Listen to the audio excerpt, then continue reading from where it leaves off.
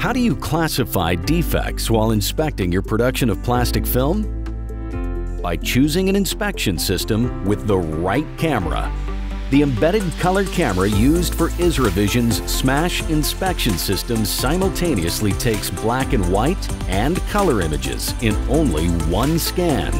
As a result, the camera can identify difficult to detect process errors, such as oil stains, and reliably detects dirt, thin spots, and holes in the material.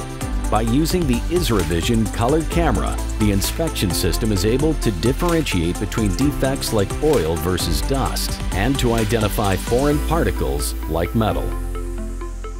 IsraVision, empowering vision excellence.